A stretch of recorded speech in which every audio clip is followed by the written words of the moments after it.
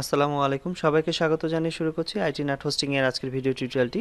আজকের বিষয়, জিমেইলে ওয়েব মেইল কীভাবে কানেক্ট করতে হয়। আপনি যদি আপনার ওয়েব মেইলে আসা সকল ইমেলগুলো আপনার পার্সোনাল জিমেল থেকে ম্যানেজ করতে চান কিংবা রিসিভ করতে চান এবং একইভাবে রিসিভ করা ইমেলগুলো যদি আপনি রিপ্লাই দিতে চান, তাহলে আপনার জিমেইলের সাথে আপনার ওয়েব মেইলটি কনফিগারেশন করে বা কানেক্ট করে কিংবা সেট করে আপনি তা খুব সহজে করতে পারেন। তো আপনি যদি আপনার ওয়েব মেইলটি জিমেলের সাথে কানেক্ট করতে চান, তাহলে প্রথমে আপনাকে একটি ওয়েব মেইল ক্রিয়েট করে নিতে হবে। আপনার ওয়েব মেইলটি ক্রিয়েট করার জন্য প্রথমে আপনাকে সি প্যানেলে লগ করতে হবে এবং সি প্যানেলে লগ করার পর ইমেল সেকশন থেকে ইমেল অ্যাকাউন্ট আইকনে ক্লিক করতে হবে। এখান থেকে আপনার পূর্বের ক্রিয়েট করা ওয়েব মেইলগুলোর লিস্ট দেখতে পাবেন এবং যদি আপনি নতুন কোনো ওয়েব মেইল ক্রিয়েট করতে চান, তাহলে ক্রিয়েট বাটনে ক্লিক করে এখান থেকে নতুন একটি ওয়েব মেইল ক্রিয়েট করতে পারেন। তো নতুন একটি ওয়েব মেইল ক্রিয়েট করার জন্য ইউজার নেম ফিল্ডে আপনার পছন্দ মতো যে কোনো একটি নাম দিতে পারেন বা আপনি যে নামের ওয়েব মেইল ক্রিয়েট করতে চাচ্ছেন, সেই ওয়েবমেইলের ইউজার নেমটুকু এখানে টাইপ করুন এবং বাকি যে আপনার ডোমেন নামটি আছে তা কিন্তু ডিফল্টভাবে নিয়ে নেবে। যদি আপনি contact at the rate of your domain name dot com এ ধরনের একটি ওয়েব মেইল ক্রিয়েট করতে চান, তাহলে এখানে ইউজার নেম ফিল্ডে শুধুমাত্র কন্ট্যাক্ট টাইপ করতে হবে। অর্থাৎ আপনার ডোমেন নামটি কিন্তু এখানে টাইপ করতে হবে না। অ্যাট দ্য রেট অফ আপনার ডোমেন নামটি একটা ডিফল্টভাবে নিয়ে নেবে। তো এ সম্পর্কে যদি আরও আপনার বিস্তারিত জানার প্রয়োজন হয় কীভাবে ওয়েব মেইল ক্রিয়েট করতে হয়, আমাদের ইউটিউব চ্যানেলে একটি ভিডিও দেওয়া রয়েছে, আপনি সেই ভিডিওটি দেখে বিস্তারিত জেনে নিতে পারবেন। এরপর এই ওয়েব মেইলের জন্য একটি সিকিউর পাসওয়ার্ড এখান থেকে জেনারেট করে নিতে পারেন, অথবা নিজেও টাইপ করতে পারেন। তো আমি এখান থেকে জেনারেট বাটনে ক্লিক করে জেনারেট করে নিচ্ছি এবং এখান থেকে এই পাসওয়ার্ডটি আমি কপি করে নিচ্ছি। ভবিষ্যতে আমার ওয়েব মেইলে লগ ইন করার জন্য এবং জিমেইলের সাথে আমার ওয়েব মেইলটি কানেক্ট করার জন্য এই পাসওয়ার্ডটি দরকার হবে। তো কোনো কারণে যদি আপনি এই পাসওয়ার্ডটি ভুলে যান, কিংবা পূর্বের ক্রিয়েট করা ওয়েব মেইলের পাসওয়ার্ডটি যদি ভুলে যান এবং কনফিগার করতে না পারেন এই পাসওয়ার্ডের জন্য, তাহলে আপনি আপনার ওয়েব মেইলের পাসওয়ার্ডটি আপনি রিসেট করে নিতে পারবেন এবং তা এখান থেকে সি প্যানেল থেকে খুব সহজে পারবেন।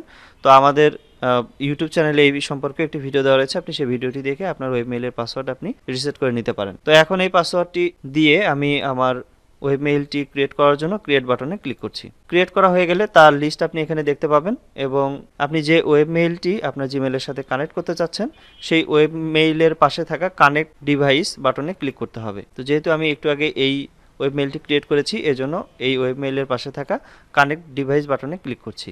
একইভাবে আপনি যদি অন্য কোনো ওয়েব মেইলটি আপনার জিমেলের সাথে কানেক্ট করতে চান, তাহলে সেই ওয়েব মেইলের পাশে থাকা এই কানেক্ট বাটনে ক্লিক করতে হবে। এখান থেকে আমার ওয়েব মেইলের সকল কনফিগারেশন ডিটেলসগুলো আমি দেখে নিতে পারব বা সেট করার সময় যে যে আমার ইনফরমেশন দরকার হবে, তার সম্পূর্ণ ডিটেলস এখানে রয়েছে। তো এই ট্যাবটি আমি এরকম করেই রেখে দিচ্ছি। এখন আমি আমার জিমেইল ট্যাবে ফিরে যাচ্ছি। তো আপনি চাইলে নতুন একটি ট্যাব ওপেন করে আপনি আপনার জিমেইলে লগ করতে পারবেন। আপনি আপনার সেই জিমেইলে লগ করবেন, যে জিমেইলের সাথে আপনার ওই মেইলটি কানেক্ট করতে চাচ্ছেন। তো আপনার জিমেইলে লগ করা হয়ে গেলে ওপরে সেটিংস যে আইকন রয়েছে, এই আইকনে ক্লিক করতে হবে। এরপর সি অল সেটিংস বাটনে ক্লিক করুন। এরপর ইমেল অ্যান্ড ইম্পোর্ট এই বাটনে ক্লিক করতে হবে। এখানে আসার পর check mail from another accounts এই অপশনের পাশে থাকা যে অ্যাড এ মেইল অ্যাকাউন্ট এই অ্যাড এ মেইল অ্যাকাউন্টে ক্লিক করতে হবে। তো অ্যাডে মেইল অ্যাকাউন্টে ক্লিক করার সাথে সাথে একটি পপ আপ উইন্ডো ওপেন হবে। তো এই পপ আপ উইন্ডো থেকে সেই ইমেল অ্যাড্রেস ফিল্ডে আপনার ওয়েব মেইলটি টাইপ করুন। তো ওয়েব মেইলটি টাইপ করা হয়ে গেলে এরপর নেক্সট বাটনে ক্লিক করুন। এরপর পপ থ্রি এই অপশন অটোমেটিকভাবেই এখানে সিলেক্ট করা থাকবে। তো যদি কোনো কারণে সিলেক্ট করা না থাকে, তাহলে এখানে এই অপশনটি সিলেক্ট করে নিয়ে নেক্সট বাটনে ক্লিক করতে হবে।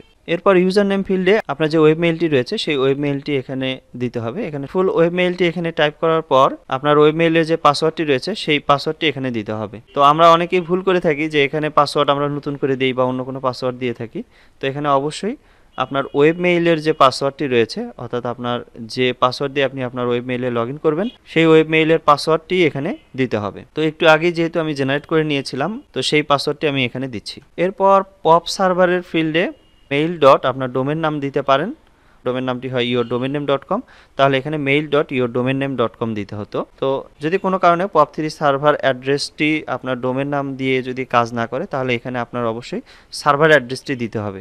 অর্থাৎ আপনার হোস্টিং সি প্যানেলের সার্ভার অ্যাড্রেস তো এই সার্ভার অ্যাড্রেসটি আপনি আপনার হোস্টিং প্রোভাইডারের সাথে যোগাযোগ করেও জেনে নিতে পারেন, অথবা আপনার যে হোস্টিং লগ ইন ডিটেলস আছে, সেখান থেকেও জেনে নিতে পারবেন। তো এখানে আরেকটি যে বিষয়, সেটি হচ্ছে যে যদি আপনার সার্ভারের হোস্ট নেম না জানেন বা সার্ভার অ্যাড্রেস যদি না জানেন, তাহলে এখানে আপনার সি প্যানেলে লগ ইন করার পর আপনার যে শেয়ার আইপিটি রয়েছে, সেই শেয়ার আইপিটি কপি করে নতুন একটি ব্রাউজারে ট্যাব ওপেন করে নেবেন এবং সেই শেয়ার আইপিটি পেস্ট করে দিবেন এবং এখানে একটি স্ল্যাশ টাইপ করবেন। স্ল্যাশ টাইপ করে সি প্যানেল টাইপ করবেন।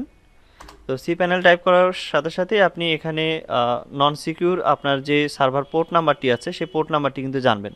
তো যেহেতু সার্ভারের এই পোর্ট নাম্বারটি ফিক্স না তো এক একটা সার্ভার ভেদে বা হোস্টিং প্রোভাইডারের ভেদে এই পোর্ট নাম্বারটি হয়ে থাকে। তো এই পোর্ট নাম্বারটি আপনি এখান থেকে জেনে নেবেন। এরপর আবার ব্রাউজারে নতুন একটি ট্যাব ওপেন করবেন এবং আপনার যে সার্ভারের আইপি রয়েছে বা শেয়ার আইপি সেই শেয়ার আইপিটি কপি করার পর একটি ক্লোন দিবেন। এরপর আপনার যে সার্ভারের পোর্ট নাম্বারটি আছে সি প্যানেলের তা আপনি এখানে টাইপ করে ইন্টারফেস করবেন। তাহলে কিন্তু আপনি এখান থেকে আপনার সার্ভারের কিন্তু যে হোস্ট নেম বা সার্ভার অ্যাড্রেস তা কিন্তু জেনে নিতে পারবেন। যেমন আমার এই C প্যানেলটি bullet dot IT dot net এই সার্ভারে রয়েছে। বা এটি হচ্ছে হোস্ট নেম তো আপনি এখান থেকে কপি করে এই আপনার ইমেইলের পপ থ্রি সার্ভার অ্যাড্রেস অথবা S M T P server অ্যাড্রেসে ব্যবহার করতে পারেন। তো এখানে আপনার সার্ভারের যে হোস্ট নেম আছে, সেটি দিয়ে আপনি ট্রাই করতে পারেন। এরপর সার্ভারের পোর্ট হিসেবে পপ থ্রি সার্ভারের যে সিকিউর পোর্ট আছে, তা এখানে ডাউন অ্যারো বাটনে ক্লিক করে তা এখান থেকে সিকিউর পোর্টটি সিলেক্ট করে দিতে হবে। তো এই পোর্ট নাম্বারটি যদি আপনার জানা না থাকে, তাহলে এই যে কনফিগারেশন ডিটেলসগুলো থেকে আপনি এখানে জেনে নিতে পারবেন। এই যে পপ থ্রি পোর্ট নাম্বার নয়শো পঁচানব্বই, তো আপনি চাইলে এই নয়শো পঁচানব্বই এখানে সিলেক্ট করে দিতে পারেন। তো যদি কোনো কারণে এইখানে নয়শো পঁচানব্বই পোর্ট কাজ না করে বা আপনি সব পোর্টই দিয়েছেন, সেই একটি পোর্টও কাজ করছে না, সেক্ষেত্রে ডিফল্ট যে পোর্টটি দেওয়া থাকবে, একশো দশ তো এটি আপনি সিলেক্ট করে নিয়ে কনফিগার করার চেষ্টা করবেন। সেক্ষেত্রে কনফিগারেশন হয়ে যাওয়ার কথা। কারণ এখানে যদি সিকিউর পোর্ট না কাজ করে, পরবর্তীতে নন সিকিউর পোর্টটি দিয়ে আপনি যদি সেট করেন এবং পরবর্তীতে অটোমেটিকলি এখানে আপনার সিকিউর পোর্টটি কিন্তু কানেক্টেড হয়ে যাবে। তো এখানে এই জন্য ওয়ারিড হওয়ার কিছু নেই। আপনি এখানে যে পোর্টটি দিয়ে কাজ করবে, সেই পোর্ট নাম্বারটি এখানে সিলেক্ট করতে পারেন। তো আমি এখান থেকে সিকিউর পোর্টটাই আগে সিলেক্ট করে নিচ্ছি যে দেখি কনফিগারেশন হয় কিনা। তো এরপরে আপনি চারটি এডিশনাল অপশন দেখতে পাবেন। তো এই এডিশনাল অপশন যদি আপনি চান, তা আপনি অ্যাড করতে পারেন। এখানে প্রথম যে এডিশনাল অপশনটি রয়েছে, সেটি যদি আপনি চেকমার্ক বক্সে ক্লিক করে চেক করে দেন, তাহলে যদি আপনার ওয়েবমেইলে কোনো ইমেল আসে, তাহলে ওয়েবমেইলেও একটি কপি থাকবে এবং একই সাথে আপনার জিমেলেও একটি কপি থাকবে। সেক্ষেত্রে দুইটি কিন্তু আপনি ইমেল পাবেন। অর্থাৎ একটা ওয়েবমেইলেও আপনি সেই কপিটি পাবেন এবং আপনি যদি আপনার জিমেলে লগ ইন করেন, সেই জিমেলও কিন্তু একটি কপি পাবেন। তো এটি যদি আপনার প্রয়োজন হয়, তাহলে প্রথম অপশনটি আপনি চেক করে দিতে পারেন। আর যদি শুধুমাত্র আপনার ইমেলের একটি কপি রাখতে চান, অর্থাৎ আপনার জিমেইলেই যদি একটি কপি রাখতে চান, তাহলে সেক্ষেত্রে আপনার এটা আনচেক করে দিয়ে আপনি নেক্সট পেজে যেতে পারেন। এরপর যদি আপনি সবসময় এসএসএল সিকিউর কানেকশন ব্যবহার করতে চান ইমেইলের জন্য, তাহলে আপনি দ্বিতীয় অপশনটি চেক করে দিবেন। এরপর যে ইমেলগুলো আসবে, সেই ইমেলগুলো যদি অ্যাড করতে চান, যে আপনার সেই লেভেলটি দেখে আপনি বুঝতে পারবেন যে এই লেভেল মানেই হচ্ছে আপনার ওয়েব মেইলের ইমেলগুলো তো এটি বোঝার জন্য সুবিধা হয় এই কারণেই যে আপনার জিমেলও কিছু ইমেল আসতে পারে এবং আপনার ওয়েব মেইলেও কিন্তু কিছু ইমেল আসতে পারে। তো কোন ইমেলটি কোন অ্যাকাউন্টের তা বোঝার জন্য আপনি এখানে লেভেলটি অ্যাড করে দিতে পারেন। আপনি যদি আপনার ইনকামিং মেসেজেসগুলো যদি অ্যাচিভ ফোল্ডারে নিতে চান, তাহলে আপনি চতুর্থ অপশনটি চেকমার্ক বক্সে চেক করে দিতে পারেন। তো এটি আমার আপাতত দরকার নেই। তো আমি তিনটি অপশন সিলেক্ট করে দিয়ে অ্যাড অ্যাকাউন্ট বাটনে ক্লিক করছি। এবং এখানে যদি আপনি লেভেলে যদি অন্য কোনো ইউজার নেম বা নতুন একটি লেভেল নাম দিতে চান, তাহলে এখানে ডাউন অ্যারো বাটনে ক্লিক করে এখানে নিউ লেভেল সিলেক্ট করে দেওয়ার পর আপনি একটি নাম টাইপ করতে পারেন। আমি এখানে দিতে পারি ওয়েব মেইল তার মানে ওয়েব মেইল লেভেলটি থাকলে আমি বুঝতে পারব যে এখানে আমার সকল ইমেলগুলো ওয়েব মেইলের তো এখানে আমি ওকে বাটনে ক্লিক করছি। তো আপনি এখানে পছন্দ মতো যে কোনো নাম আপনি এখানে অ্যাড করে নিতে পারেন, কিংবা আপনার ওয়েবমেইলের যে নামটি থাকবে সেটিও আপনি ব্যবহার করতে পারেন। এরপর অ্যাড অ্যাকাউন্ট বাটনে ক্লিক করুন। তো এখন আমার যে ওয়েবমেইলটি রয়েছে, সেই ওয়েবমেইলটি আমার জিমেলের সাথে অ্যাড হয়ে গিয়েছে, এবং এখন যদি আপনি আপনার ওয়েবমেইল থেকে কোনো ইমেল পাঠাতে চান, তাহলে এখানে প্রথম অপশনটি সিলেক্ট করে দিয়ে নেক্সট বাটনে ক্লিক করবেন। এরপর এখানে আপনার ইচ্ছা মতো একটি নাম দিতে পারেন এখানে যদি ওয়েবমেইলটি আপনার কোম্পানির ওয়েবমেইল হয়, তাহলে এখানে আপনার কোম্পানির নামটি দিতে পারেন। তো যেহেতু এটা আমার পার্সোনাল ওয়েবমেইল এই জন্য আমার নিজের নামটি এখানে দিচ্ছি। তো এরপর বাকি সব কিছু ঠিক রেখে নেক্সট স্টেপে ক্লিক করুন। এরপর এস সার্ভার ফিল্ডে এখানে এস সার্ভার কনফিগার করার সময় এখানে অবশ্যই খেয়াল রাখতে হবে যে এখানে mail dot your domain name dot your ডোমেনের এক্সটেনশনটি দিতে হবে। তো যদি কোনো কারণে এস সার্ভারের এখানে mail dot your domain name dot com দিয়ে যদি কাজ না করে, সেক্ষেত্রে আপনাকে অবশ্যই আপনার সার্ভারের যে অ্যাড্রেসটি আছে, সেই অ্যাড্রেসটি দিতে হবে, অর্থাৎ সার্ভারের হোস্ট নেম তো এই সার্ভারের হোস্ট নেম যদি আপনি না জেনে থাকেন, তাহলে অবশ্যই আপনি আপনার হোস্টিং প্রোভাইডারের কাছ থেকে জেনে নিতে পারবেন, অথবা আপনার যে সি প্যানের লগ ইন ডিটেলস আছে যে ইমেলটি আপনি পেয়েছিলেন, সেই ইমেল থেকে তা জেনে নিতে পারবেন। এরপর ইউজার নেম ফিল্ডে এখানে আপনার ফুল ওয়েব মেইলটি এখানে টাইপ করুন। তো আপনার ফুল ওয়েব মেইলটি টাইপ করা হয়ে গেলে এরপর আপনার ওয়েব মেইলের যে পাসওয়ার্ডটি রয়েছে, সেই পাসওয়ার্ডটি এখানে পাসওয়ার্ড ফিল্ডে টাইপ করুন। তো এখানে অবশ্যই দুটি বিষয় খেয়াল রাখতে হবে যে এখানে ইউজার নেম ফিল্ডে আপনার ফুল ওয়েব মেইলের অ্যাড্রেসটি দিতে হবে এবং আপনার এই ওয়েব মেইলের যে পাসওয়ার্ডটি রয়েছে, সেই পাসওয়ার্ডটি এখানে দিতে হবে। কোনোভাবেই এখানে যদি আপনি ভুল কোনো পাসওয়ার্ড যদি টাইপ করেন, তাহলে কিন্তু আপনার কনফিগারেশনটি আর হবে না। এবং এস এম টিভি সার্ভারে এখানে mail dot your domain name dot com দিতে হবে, অথবা আপনার সার্ভারের অ্যাড্রেসটি দিতে হবে। এরপর পোর্ট ডাউন অ্যারো বাটনে ক্লিক করে আপনি পাঁচশো সাতাশি ব্যবহার করতে পারেন, অথবা যে সিকিউর পোর্ট নাম্বারটি রয়েছে, এখানে যে এস সার্ভারের যে সিকিউর পোর্ট চারশো পঁয়ষট্টি, আপনি সেই চারশো পঁয়ষট্টি ব্যবহার করতে পারেন। তো যদি কোনো কারণে চারশো পঁয়ষট্টি পোর্ট নাম্বার কাজ না করে, তাহলে আপনি ডিফল্ট যে পোর্ট থাকবে, সেই পোর্টটি দিয়েও চেষ্টা করে দেখতে পারেন অথবা আপনি পঁচিশ দিয়েও চেষ্টা করতে পারেন। তো যে কোনো একটি পোর্ট এখানে দিয়ে আপনি কনফিগার করে নিলেই হবে এবং পরবর্তীতে এটি সিকিউরলি এখানে চারশো পঁয়ষট্টিটা ধরে নেবে। তো এরপর যদি আপনি সিকিউর কানেকশন এসএসএল যদি ব্যবহার করতে চান, তাহলে এখানে আর কোনো কিছু পরিবর্তন করার দরকার নেই। যেটা রিকমেন্ডেড দেওয়া আছে, সেটি আপনি ব্যবহার করতে পারেন।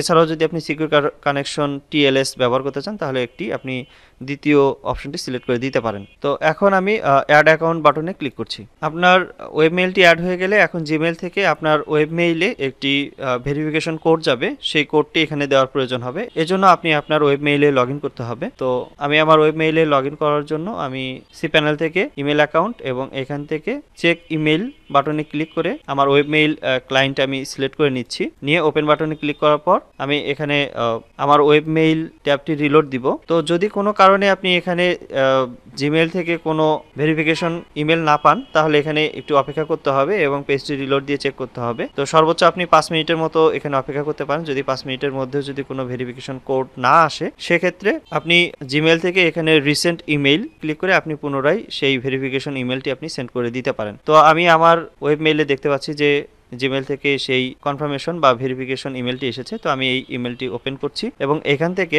আপনি দুইভাবে ভেরিফাই করতে পারেন। একটি হচ্ছে এখানে যে ভেরিফিকেশন কোডটি দেওয়া রয়েছে, এই ভেরিফিকেশন কোডটি আপনি এখান থেকে কপি করে নিয়ে আপনার জিমেল ট্যাব থেকে সেই ভেরিফিকেশন কোডটি এখানে ভেরিফিকেশন কোড ফিল্ডে টাইপ করার পর বা পেস্ট করে দিয়ে ভেরিফাই বাটনে ক্লিক করেও ভেরিফাই করতে পারেন, অথবা এখানে যে লিঙ্কটি দেওয়া রয়েছে, এই লিঙ্কে ক্লিক করেও আপনি ভেরিফাই করে নিতে পারেন। তো এখানে যদি আপনি কোড দিয়ে ভেরিফাই করতে চান, তাও করতে পারবেন, আর যদি লিঙ্কে ক্লিক করে ভেরিফাই করতে চান তাহলে এখানে লিঙ্কে ক্লিক করার পর এখানে কনফার্ম বাটনে ক্লিক করবেন। তো আমি দেখতে পাচ্ছি যে এখানে কনফার্ম সাকসেস হয়েছে। তো এখন আপনি ট্যাবটি কেটে দিন এবং আপনার যে জিমেল ট্যাব আছে, সেই জিমেল ট্যাবে এসে আপনি ইনবক্সে ক্লিক করুন। তো আমি দেখতে পাচ্ছি যে আমার যে ওয়েব মেইলটি জিমেলের সাথে কানেক্টেড হয়েছে এবং এখানে যে নতুন একটি লেভেল আমি অ্যাড করেছিলাম ওয়েব মেইল নামে, সেই লেভেল কিন্তু এখানে রয়েছে। এখন যে ইমেলগুলো আমার ওয়েব মেইলে আসবে, সে সকল ওয়েব মেইলে আসা ইমেলগুলো আমি এই একটি ফোল্ডার থেকে আমি ম্যানেজ করতে পারব এবং আপনি চাইলে ইনবক্স থেকেও দেখে নিতে পারবেন। তো একইভাবে আপনি আপনার ওয়েব মেইলটি আপনার জিমেলের সাথে কানেক্ট করতে পারেন। তো এই ছিল আজকের মতো ভিডিও এই ভিডিওর কোনো পার্ট যদি আপনার বুঝতে অসুবিধা হয়, সেক্ষেত্রে এই ভিডিওর কমেন্ট সেকশনের মাধ্যমে জানাতে পারেন। এতক্ষণ আমাদের এই ভিডিওটি দেখার জন্য আপনাকে অসংখ্য ধন্যবাদ। আপনার দিনটি শুভ হোক। আসসালামু আলাইকুম।